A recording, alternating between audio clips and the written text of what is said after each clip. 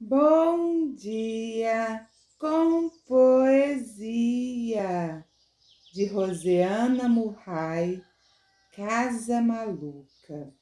Esta é a casa maluca, de velas soltas ao vento. Os sonhos são sua bússola. Os que moram dentro dela pensam estrelas e música. Esta é a casa barco esta é a casa aberta como um jardim ao relento.